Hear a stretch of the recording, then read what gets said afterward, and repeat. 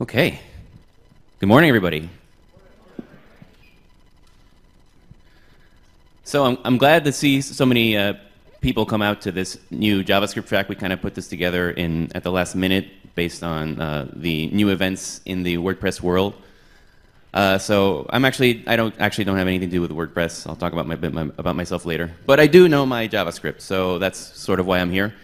Uh, so today we're going to be talking about uh, advanced topics of JavaScript, exploring the function, JavaScript function. So functions are really important in JavaScript, and so we'll take a look at what that means. Okay. Uh, so Okay, so please uh, feel free to interrupt me, raise your hand, whatever, for questions. I'm totally, totally, totally, totally okay with interruptions for questions. This is, is for you guys to learn, so I want you to, to have you know, all your questions answered. And at the end of this talk, I'm also going to be at the Happiness Bar hanging out, at least for the next half hour after my talk. So, so uh, and then I'll just be here in the, for the rest of the day. So please uh, feel free to ask me questions. It's fine. Uh, all right, so today we're going to be talking about the wild world of functions. And so let's, let's give a little context about what we're doing here before we start. So JavaScript is a bit nutty. It's a bit crazy. And uh, unfortunately, it will remain so forever. Okay, for, not forever, but maybe for the foreseeable future. Why is that? Because uh, we, we, like, we, it has a lot of quirks. It was made in actually like two weeks. And uh, we don't want to break the web. We want uh, pages from 15 years ago their JavaScript to keep working just like it did 15 years ago today. So we have a problem. All those crazy things that it does, we're, they're here to stay. We're not getting rid of them. So instead, what we're going to do is to uh, maintain backwards compatibility, we're going to A, learn about the things that are bad and stay away from those. And B, uh, the, the, the, the, standard is going to be up updating itself constantly, not with changing the old things, but with introducing new things that fix the things that the old things do bad. Okay, so anyway, I'm not going to talk about that, but, but, but just so you know, we're not breaking the web. That's why JavaScript is so weird and wacky because we just can't we just can't fix those things. Uh, I have to point this over here like this. No, no. Oops, wrong button. It's my it's my bad. Uh, so it's especially crazy and eccentric with functions. Eccentric is a euphemism. Some of you may know that for, for, for insane. Anyway, so, uh, so, and functions are the, one of the most important things that, that JavaScript has. A lot of in JavaScript you, you do with functions. It's really, really important. So it's, it's really weird uh, that it does so much things with the most important, their most important object, but we have to learn about them because, well, well, they're important. So that's what we're going to try to do. So we're going to try to address some of those weird things that JavaScript does uh, and uh, things especially that throw off new developers when they're learning this stuff. Okay, so we're here to help with those things. So, number one, functions are values. Okay, that's the first uh, topic. In JavaScript, functions are values. What does that mean? It's odd for a, for a language to have this property. Uh, so you might have heard this, this term, uh, functions are first-class citizens in JavaScript. Uh, how many people have heard that? Okay, how many people know what that means? Okay, like a fourth of you. What that means is when you create a function in JavaScript, it is an object. It is a value. Just like when you create a string, that is a value. Our numbers are values, our arrays are values, and, and, and all those things are values and objects, just like a function is. That means you can assign it to a variable. So when you create a function like this, you have a variable automatically created for you. So let's say I have this console log function here. And uh, so I can call it, see, in, in that, in that uh, first line there, it's saying greeting, open parentheses, close parentheses. I'm calling the function. But I can also print out greeting itself. By defining a function, uh, greeting itself is a variable that's created that has the contents of this object that is a function. That's what that means. Okay? when you define a function in other languages, they're not objects, they're not values. You can't assign them to a variable, you can't pass them around. Uh, so a similar thing you can do in PHP, I'm, I'm, assuming that some of you are familiar, maybe more familiar with PHP than, than with JavaScript. You can do a similar thing by assigning a function to a variable like this. And so by assigning this function to a variable, uh, um, you can call it with its variable name and then, but the variable itself, if you var dump it, it's, it's an object, okay? It's an instance of a class or something. Uh, so, you can also do a similar thing in JavaScript where you're assigning, you know, the, the an anonymous function is what we call that, to a variable, and that also works just the same as the previous example does. Uh, now, you'll see me in my examples, I'm mostly going to use this style, which is using the function keyword and then the name rather than assigning the variable. So, but ultimately, it's the same end result most of the time. there are exceptions, but we're not, not we're not really going to talk about those. So mostly, I'll be doing something like this. Okay. All right. So uh, the first thing I want to show you is that the function is an object, and most objects in in uh, in JavaScript are immutable. You can set properties to them. So here what I'm doing is, is aside from just hello world like I did before, I'm also keeping track of this amount property of this greeting object. So I'm starting it at zero over here, starting it at zero. Then every time I call it, I'm calling it twice, I'm, I'm incrementing it by one. And so at the end, I'm going to console log greeting amount. That's going to give me a result of two. So it keeps track of that property just like it would in a regular object. Okay? And because a function is an object, you can, you can do that. And because it's a mutable object, you can do that. If you assign a, a, a, a number to a variable like this uh, and try to set a, a property on that number, you can't do it because numbers are immutable. Uh, you can even assign a function as one of its properties because it's an object. And we'll circle back to doing this kind of thing later. So uh, and so this is going to kind of making a makeshift method. I'm calling, I'm calling, I'm treating this greeting thing like a, like an object, like a class, and then I'm making a new method on it called the Spanish version of, of Hello World, which is Hola Mundo. And uh, so here I am calling it. So greeting itself is a function. I'm calling it. Greeting that Spanish is also a function or a method, and I'm calling it. And that, that, that works. That's fine. Doesn't, doesn't complain about that. With me so far?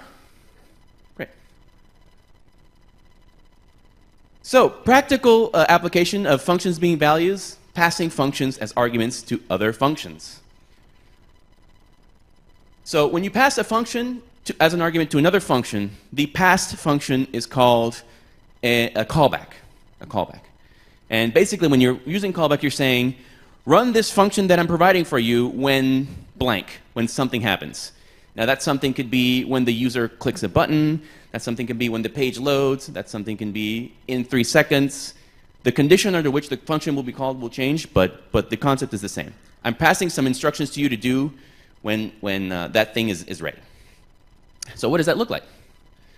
Uh, well, like I said, one of the common cases for callbacks is, is uh, click handlers in jQuery. Uh, how many people here are familiar with jQuery? Uh, so how many people here, their JavaScript code is uh, centered around the use of jQuery? Okay, so most of you, right. So here what I'm saying is, okay, well, select my button, and then run this instruction when the user clicks that button. And, and that's it. That, so that, that anonymous function that I'm defining there, that anonymous function is the callback, okay? So function values you pass into other functions are known as, oh, I just said that. I went back, sorry. Let's go forward. Okay, and you can also pass in a function by using its variable name instead of having an anonymous function. Okay, and again, in this case, I'm naming the function. I'm saying function do stuff. This is my callback function. And then I'm passing it in as an argument, just like you would pass in a regular variable as an argument. Uh, yes? The question is if there's an advantage to doing it this way as anonymous functions, readability is the only one that, the most, the biggest one. There may be other advantages too, but then that's the main one. Um, actually, I'll, I'll, show you uh, uh, an example with a set timeout function later. Especially with a set timeout, it's really, it's really way better to do it this way than the other way. Although I'll be using both in, in, in the examples. Good question. What's that? Oh, right, yeah. Uh, when you, you can reuse it as well. If you name the function, you can use it in multiple places. Uh, but not in this example, I'm only using it once, so it doesn't matter. Uh, okay. Oh, so, and just as a reminder, the callback is not click. Click is not the callback. Do stuff is the callback. The callback is the function that you pass. Okay? Uh, all right. So, part three function scopes and closures. Uh, this is another really important thing that's really weird. This especially is really weird that JavaScript does. And uh, obviously, it's centered around functions. So, let's, let's talk about this. So local variables in JavaScript have a specific scope, okay? Uh, so local variables are those that are created with var. Notice in my examples I've been creating, every time I do a var, uh, looking for one here. Okay, here. var greeting equals function whatever. That makes greeting a local variable. Okay.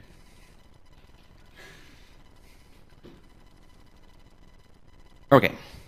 So, a variable's scope determines what parts of the code it can be used in. So the scope uh, is about the visibility of the variable. Where, where can it be seen and where can it be used? So if else statements and other non-function blocks do not constitute a new scope. So for example, in my first line here, I'm saying var pizza equals pepperoni. By the way, all my examples are pizza related. I apologize if you're hungry. uh, anyway, uh, so uh, here, my first line is saying, okay, I'm setting pizza equal to pepperoni. It's a string. Fine. Then I'm saying if true, that makes the if always happen, right? Uh, and I'm saying, okay, var pizza equals mushroom. Even though I said var pizza equals again, it's actually referring to the same pizza variable, okay? So inside that if statement and outside the if statement, we're both talking about the same scope. It's the same set of variables here. So pizza there and pizza inside, they're both the same pizza. So when I change pizza in the if, it gets changed outside the if as well. Okay? So I get mushroom here, mushroom. Uh, but JavaScript has function scope, which means that you create a new set of variables inside a function. So in this example, I'm starting out the same way, pizza equals pepperoni, uh, and I'm making a new function called print pizza. And in print pizza, I'm making another instance variable called pizza as well. I'm setting it to mushroom. Inside the function, that pizza is mushroom. Outside the function, pizza is still pepperoni. So print pizza prints out mushroom because in here, pizza is mushroom. But outside, console log pizza still remembers, oh yeah, I have this variable called pepperoni. So this pizza and that pizza are two in, in like in separate in separate bubbles. They're in like parallel dimensions. Okay they don't know, they don't know about each other. They have the same name, but uh, they're different. They're different variables. Okay? So when you open up a function, you have a new set of variables. But there's some caveats. like everything in JavaScript, there's, there's some issues here. So the key thing to remember about JavaScript function scope is Disney Pixar. And I find mnemonics are a really good way to, to, uh, to learn tricky, tricky concepts. So I don't know if you, how many have heard the mnemonic uh, righty-tighty? Righty-tighty. When you're twisting like a, a screw, you twist it uh, to the right and it tightens to the left. It. Okay, so we're going to learn uh, one for JavaScript. Here we go. Ready? Variables can be seen from the inside out. Disney Pixar. Disney Pixar. Inside out. You can see variables from the inside out, which is to say that variables declared outside can be seen from the inside, but you cannot see variables declared in the inside from out. You can see inside out.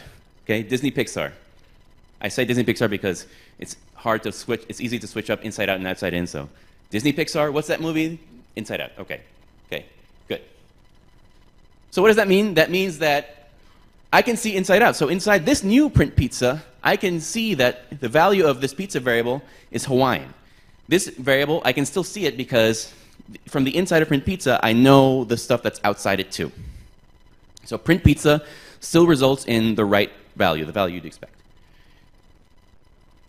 On the other hand, if I have another function called print large pizza, and then here I'm defining a new variable called large pizza, and that's a large four cheese pizza. Uh, so inside, that works. So over here, when I'm calling large pizza, that works just fine. But outside, I try to use large pizza and I get a reference error. My JavaScript blows up because I cannot see outside in. I can see inside out. So that large pizza, that is a local variable, variable inside of large pizza and inside, inside of print large pizza only. Outside, that thing does not exist. And you will get an error like this one. Yes?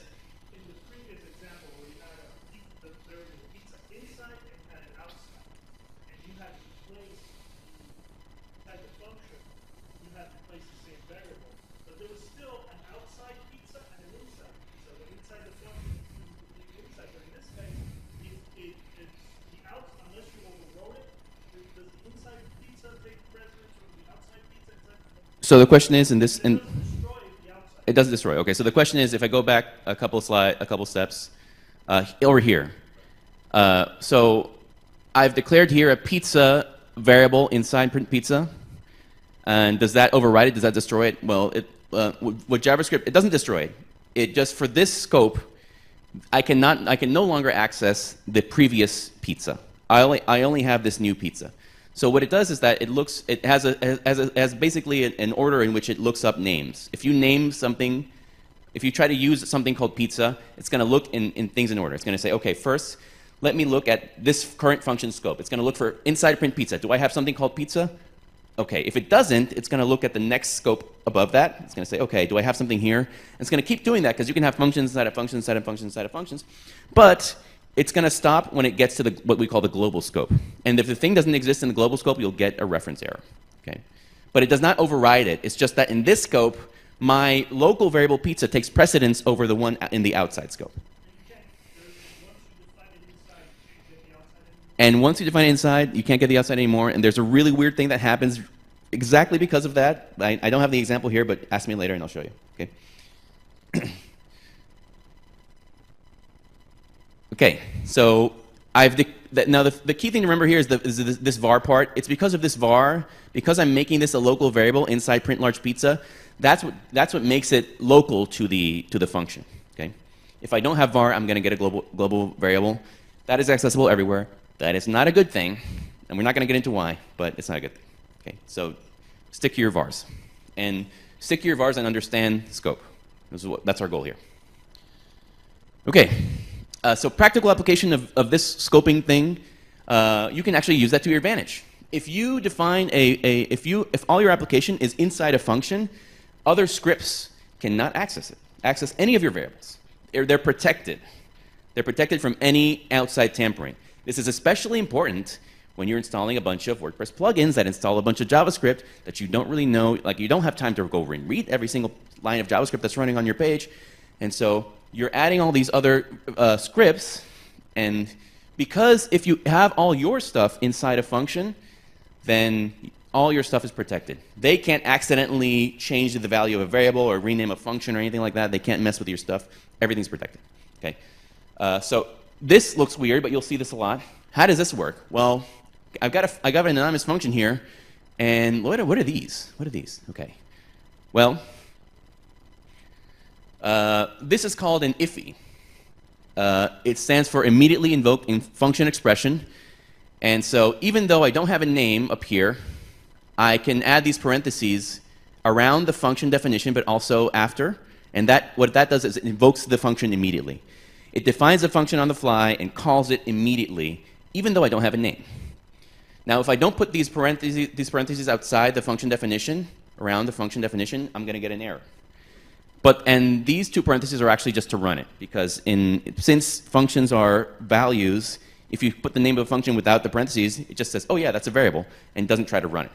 So I need these two parentheses to run the function, to invoke the function, and then I'm going to get an error unless I put these around the function itself. So this is a way, you'll see this all the time, this is a way to, to basically put all your stuff inside a function that's protected against other, other people, other scripts. Okay? Uh, there's a link up here to, the, to an, uh, an in-depth article about IIFEs. Okay, it's like five years old, but anyway, it's still, it's still good. I promise it's still good. okay, IIFE. Uh, you'll see that a lot. That's why I teach. Okay, so scoping can also be used to make variables private. There's no way to make a variable attached to an object private by default, okay? So if I go all the way back to that, that example where I was doing, uh, I was counting, I, I had pizza.amount or greeting.amount, and I was counting the, the amount of times I was running greeting. Well, there's nothing preventing you from actually resetting that to zero, or somebody else resetting that to zero. So to make these variables truly private, you have to take advantage of scoping. So, uh, let's see. Right.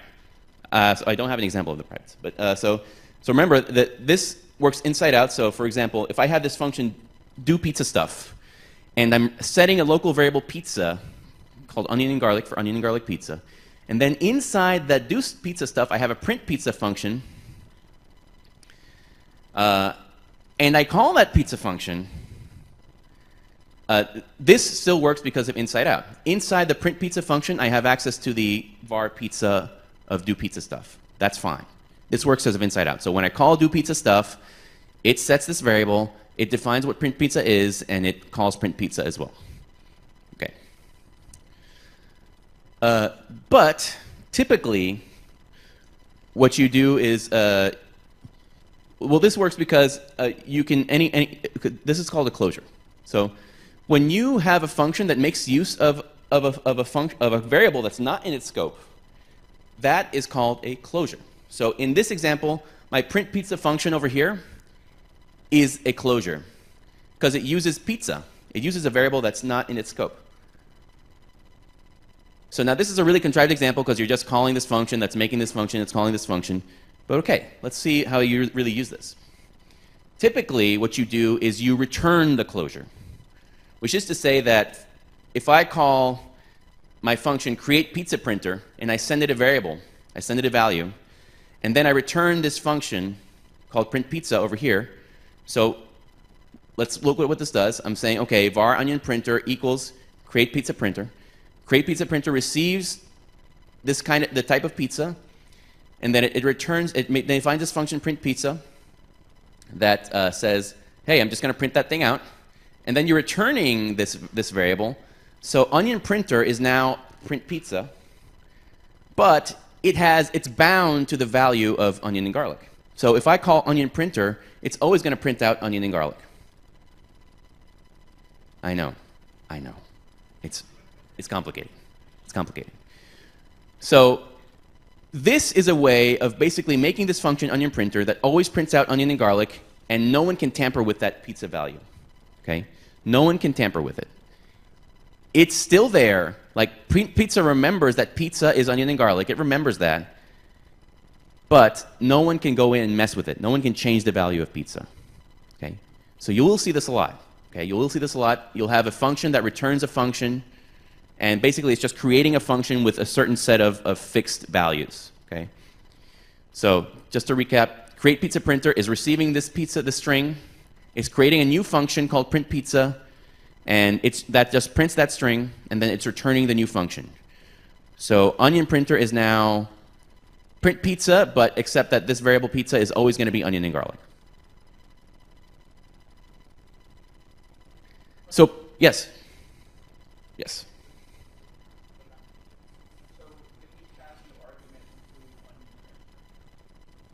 Right. Nothing changes. So notice that onion printer, onion printer is analogous to print pizza. What are the arguments of print pizza? So the question was, if, what happens if I pass in an argument to, print, to onion printer? Well, print pizza doesn't have any arguments.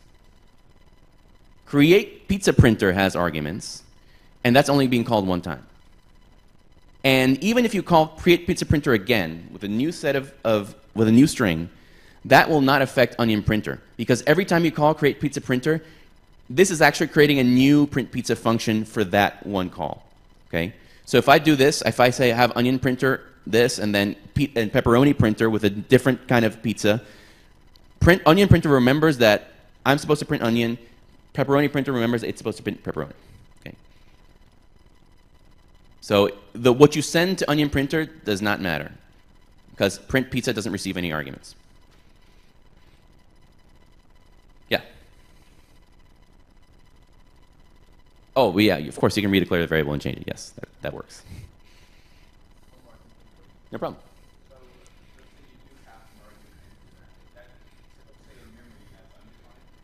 Uh, onion if you pass in a variable into onion printer. So what happens if you pass into a variable with onion printer?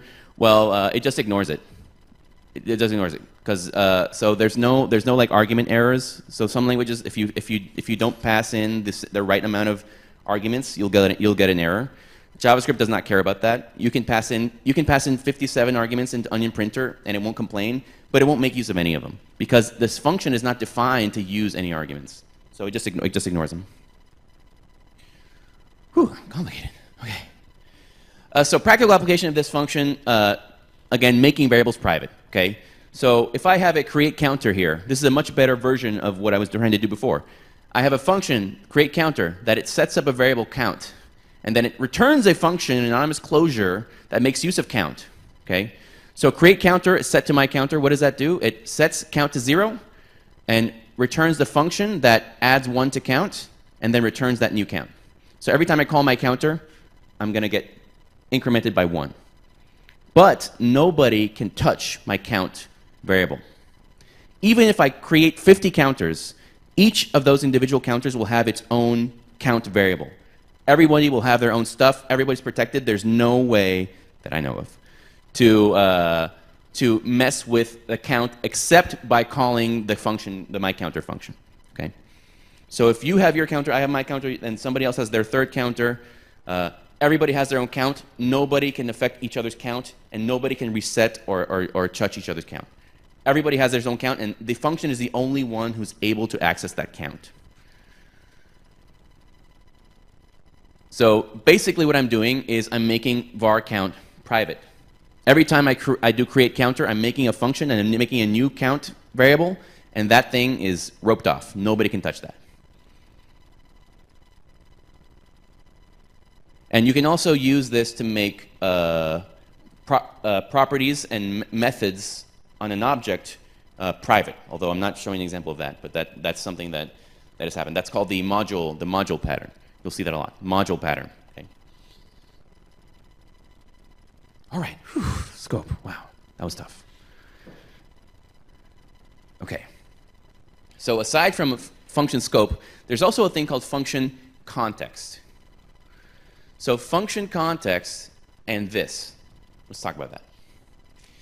So functions also have a context in addition to a scope. And the context is basically an object that owns the call to the function that owns the call to the function. Okay? Let's see that in action. So every function's context in that particular call is represented by this magical keyword called this. Okay? Every time you call a function, this is going to have a value. And you don't have to define that, that just happens automatically. That's, it's, it's magic. Okay? It's magic. So here I have another print pizza function. Here my pizza is fancy arugula because some pizzerias try to get fancy and they just throw arugula on the pizza. And uh, so I'm printing out the pizza and also printing out this, okay, which is again the magically defined keyword. So let's see what that does. Uh, so this is magical because it changes depending on how the function is invoked, depending on how you call or execute the function. So it can have potentially uh, different, can potentially have different and unexpected values, and we'll see why. And boy, this is, this is the source of so many problems, uh, especially when you're starting out. Everybody, like literally everybody gets hit by some sort of this context problem. Like this, this, this will happen, okay? Don't, even if you know about it, it will happen. so the manner of execution of the function determines the rules for the context, the rules for this. We're going to see a couple different examples. Not all of them, because one of them is really weird, but anyway. So Im imagine that. The ones we're seeing are weird. The two ones that we're seeing are weird. And there's a third one that's even weirder that we're not going to see. anyway. Okay, so if I have a regular function, regular function, just like the one I had before, oops, spoiler, regular function, just like the one before, what's that going to do? It's going to print fancy arugula because pizza is fancy arugula, and it's also going to print an object called window. So when you define a regular function and call it just like you always do, that thing, that thing, in this particular case, this is going to be window. What does that mean? When you call a function like this with just the name of the function and an argument, nobody owns that function. It's, it's that particular call of the function is, is like a, it's like a, it's like a Ronin. It's like he doesn't have a master. And so window is the global object. What is window? all global variables and functions are properties of window. It's the global object. Every JavaScript environment has a global object. I'm using here, I'm assuming that most of you, most of you are going to be running JavaScript on the browser. And in the browser, the global object is window. So everything is on window, everything, okay? This is just a small sample of all the things that are on window. The array class, the number class, the object class, the regular expression class, the console, the where we use console log, the document where you do document onReady and all that stuff. Set timeout, which you're going to see later. Undefined. Everything, everything, everything, everything, everything that ever was in JavaScript is on window. Uh, And so when you call a function like normally you, like you normally do, this is going to be window. The context is window because it doesn't really have an owner, and so the default owner is the global object, which is window. Okay, with me so far? Okay. The other main way to call function is as a method of an object, like we already saw. Okay, so let's let's take a simple let's make a simple pizza object and call a method on it. Okay. So let's let's get this simple pizza object. It's got two properties, toppings and cheese. Okay, I don't know why you want to change the cheese, of, the cheese of a pizza, but bear with me, okay? Toppings and cheese. So toppings here are fancy, is fancy arugula like, like, it was before, like those fancy pizzerias trying to be fancy. Uh, and then cheese is mozzarella because it's mozzarella, guys. Come on, okay? Why do you want to change that? so because I have this object called pizza, I can do pizza.toppings that will get me fancy arugula because I have this object and it has a property cheese, I can say dot cheese and it gives me mozzarella. Okay? With me so far? So let's add a print method to that.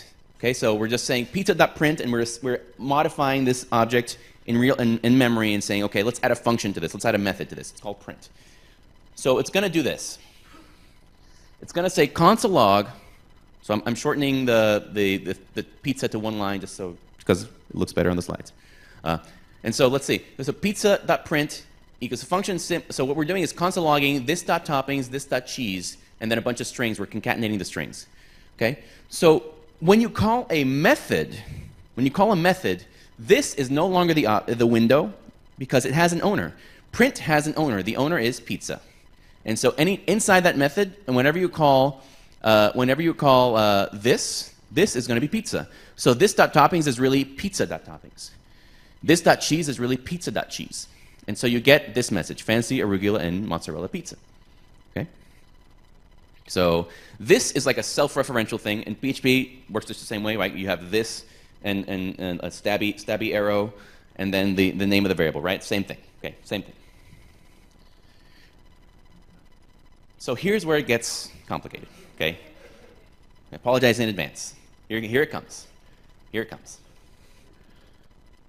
if you assign that method to a variable like this, var print pizza equals pizza.print, because pizza.print, because it's a function in JavaScript, it's an object, you can assign it to a different variable. If you do that, this, and you call that function like, like a normal function, because you're calling it like a normal function and not like a method, it no longer has an owner. It is, uh, it, it went rogue. It goes rogue on you, and this inside this function now is window.toppings and window.cheese.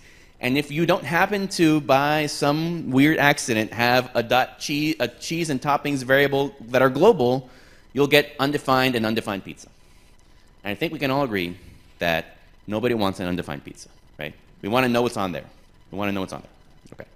That's the only joke I have today. I'm sorry. Uh, so, so you can do this. This is crazy, but you can do this. You can say, okay, I'm going to take this method. It's an object. I'm just going to assign it and then call it, and then boom, your this is your thises are all borked. Your thises are all screwed. Okay. So what do you do? What do you do? Oh, so you want to take a picture? I'm having, I'm linking to the slides in. Okay, you're good. Okay, fine. Anyway, uh, oh, wait, cool, right here. So one thing you can do, one thing you can do I'm not saying this is, a, this is this thing that you should do, but it's a thing you can do. Uh, is when after you assign that pizza, instead of calling it like you normally call it, you use this method that all functions have. It's called dot .call. Okay. What dot .call does, it allows you to set the context of any function explicitly. You're saying, okay, call print pizza, but make sure that this is pizza.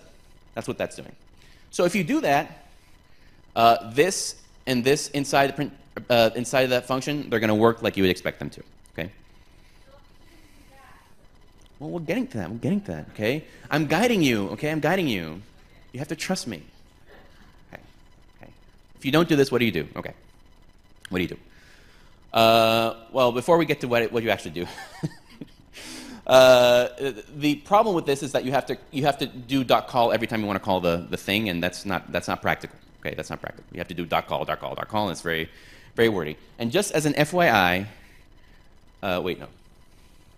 Okay, but the advantage of this, the advantage of this, of doing dot .call is that you can actually change the context of the function on the fly, which is pretty cool.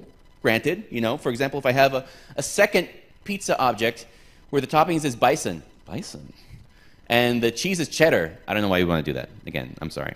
I don't know what this, you know, mozzarella. Okay. Uh, anyway, so uh, so so I can do the same. So this is still pizza.print, which is this function. And I can say dot .call pizza, and that will do what it did before. But I can also say dot .call other pizza, and it and it, cha- it, it just changes dynamically. That's pretty cool. That's pretty cool. It's pretty cool. So as an FYI, you can also do a similar thing with dot .apply. Dot .apply is similar to call in this way and in this way only. Um, there is another really, really cool and subtle difference between dot .apply and dot .call, which we're not going to get into. But if you're curious about that, ask me later. Okay. I just want to be thorough. Uh, okay, so again, you have to do it call by call. It's not practical, so you have to do this every time, Ugh, right? But another alternative is to use bind. Bind. So bind is another method on function. Every function has this dot bind method. And what this does is it fixes the, the context. It fixes the value of this for this function. Okay? So when I'm assigning my function, if I do pizza.print.bind and then say, okay, bind this to pizza, print, pizza is now going to be bound to pizza all the time. The pizza object is now married to print pizza, like you would expect it to. And so now, every time you call print pizza, you don't have to do any fancy tricks. It just works. It just works the way you want it to. It just works. Um, okay. So what this is really doing is it's creating a new function. It's creating a new function with the this fixed. So I I'm, I'm here as an example, I'm just saying like, okay, print pizza, is it equal to pizza.print? Are they the same object? No, they're not. Print pizza, because I did bind, that automatically created a new function and returned it. So they are no longer the same function. They do the same thing. The difference is that pizza.print that guy has no, he has no loyalty. He can change, he can change the this anytime. Print pizza, that guy has loyalty. He's bound to this pizza object right here. He cannot, and furthermore, you cannot change the context of that function anymore. That new function that bind creates, that thing is, that thing is set. It's baked in. You cannot change it. So even if I do on that new bound function, if I try to do dot .call and try to change the this and try to be clever, won't work. Won't work. It's immune to any changes in context because of dot .bind. And that's also, it's also pretty cool. It's also pretty cool. So, practical applications of this stuff. Practical applications of this in context. The problem, the real problem is that in a callback, this is always going to be window. Why? Why do they do that? So, for example, set timeout. So here's an example of this. This is if I did this with an anonymous function, it would look really weird. That's why. That's why because of because set timeout takes this other argument that makes it look really really weird. Anyway, so so named functions. I'm saying okay, pizza.print set timeout, but set this after it waits three seconds because it's it's supposed to do milliseconds, right? And then it says okay, well. After three seconds, it says undefined, undefined, because pizza.print, oh, it's not, the context is not properly set. So some pseudocode for set timeout. Basically, what it does is it receives that function as, a, as this variable callback. So it's basically assigning it to a variable. And so it does other stuff, and then eventually it does this callback and calls it. That's why, because I'm calling it with no, with no object, with no owner, that's why this is window, and I get the problems again. Damn. So how do I fix that? How do I work around callbacks and context? A couple of different things you, you can take away here. Number one, bind, like we saw. If you, if you create a new function with bound, bind and you bind it to that pizza, nobody can change the context. So when you pass it to the, to the function that receives a callback, boom, it's bound, no problem, it's always going to work. I can know for sure that this is going to work. This, unfortunately, though, is, is a bit slow. So if you have to do millions and millions of binds, ugh, your, your browser's going to be like this. Okay. So, so uh, not a concern at first, okay? Wait for this to happen. But just so you know, it could be a problem if you get millions and millions of users, okay? Uh, how am I doing on time? Five minutes. Okay, cool. Alrighty. Three minutes. Okay, well, I'm about to wrap up. Uh, all right, so bind is one technique that you can do to prevent the callbacks from transforming your, your, your, your, your method into like a non-method function. The other thing you can do is use a closure. If you make a closure, if you make a function called print pizza, it remembers that pizza is this thing, and then if you pass that under, then that will work. And so essentially you're doing basically the same thing as bind. You're making a function, a new function that's bound to pizza. Uh, but you can do it manually sometimes, you know, maybe because this, arguably this is more readable, arguably it's more easier to understand, but it's more lines of code. So trade-offs. But this does the right thing. You'll get fancy arugula and, and mozzarella pizza. Okay. Whew. All right, that's, that's it.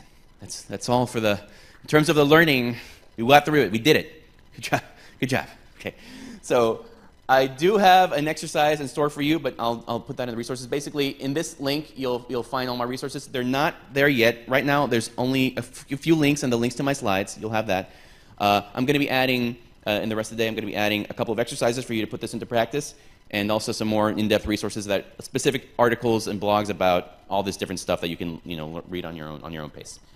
So bit.ly slash exploring hyphen js hyphen functions, and that's going to link you to the uh, GitHub Markdown file, and all the links are going to be there. Okay.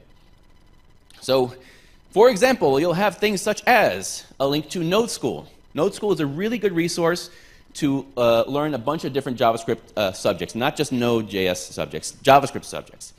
Uh, those are interactive tutorials in your terminal. They'll give you an exercise, they'll give you some, some, some stuff to consume, some things to learn about, and then you'll have to kind of write the code that makes it, that makes, it, the, makes what they're asking for work. This is a really good thing, a really good resource. Uh, and so they, they cover things like functions, they cover things like the basics of JavaScript, they cover things like, uh, there's even one about Git, there's a lot of different ones. There's graphic, I think there's graphics programming. Uh, there's new, new, ones coming out all the time. Okay? So Node School is a really good resource for learning uh, more JavaScript in depth.